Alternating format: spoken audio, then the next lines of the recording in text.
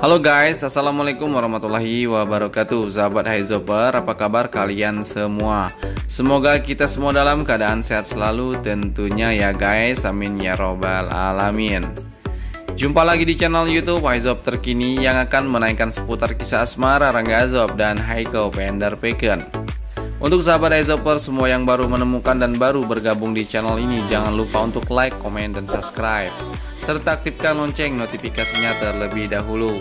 Dan tujuannya agar sahabat Aizoper semua tidak ketinggalan nih Info-info mengenai Asmara Ranggazob dan Haiko Penderpeken Dan buat sahabat Aizoper dan bunda-bunda kece yang ada di rumah Agar tidak terjadi kesalahpahaman di antara kita Alangkah lebih baiknya tonton dulu video ini sampai selesai ya guys. Dan langsung saja kita ke pembahasan ya guys. Dan di sini terlihat sepertinya Neng Haiko Pender Peken nih guys. Terlihat di instastory Neng Haiko Pender Peken Sepertinya Neng Haiko Pender Peken ini lagi selesai gym ya guys Atau sedang latihan nih dan terlihat di sini keseharian Neng Haiko Pender Peken ya guys kalau lagi latihan gym.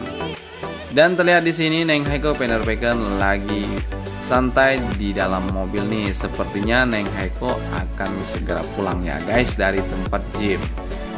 Dan ternyata ya guys, memang netizen ini tidak bosan-bosannya nih untuk bertanya kepada Kokone.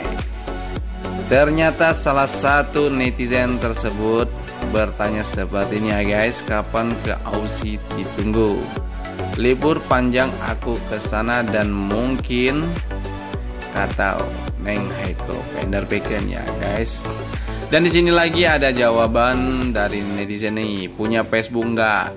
Tolong klarifikasi kak dan Neng Haiko menjawab tidak punya Facebook ya guys. Padahal sebenarnya kalau Neng Haiko Pender Bacon punya Facebook saya pun pengen berteman ya guys dengan Neng Koko. Hehehe.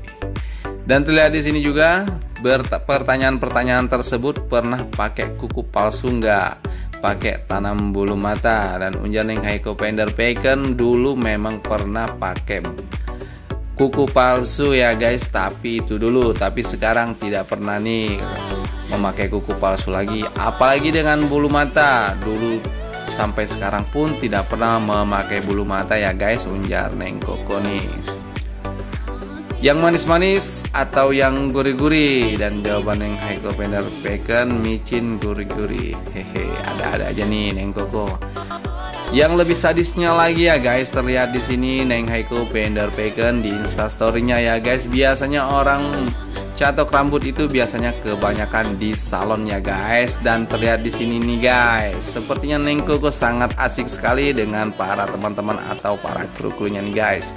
Terlihat di sini mungkin ini di lokasi syuting tentunya ya guys. Neng Haiko langsung catok rambut di dalam mobil ya guys. Hehe bisa aja nih Neng Koko Langsung catok rambutnya di dalam mobil. Tidak usah pergi jauh-jauh ke salonnya Neng. Di dalam mobil pun bisa catok rambutnya. Bisa aja nih Neng Koko. Oke ya guys untuk para Izoper tanah air di mana pun kalian berada Mari kita doakan saja Neng Koko ini semoga sukses selalu ya guys.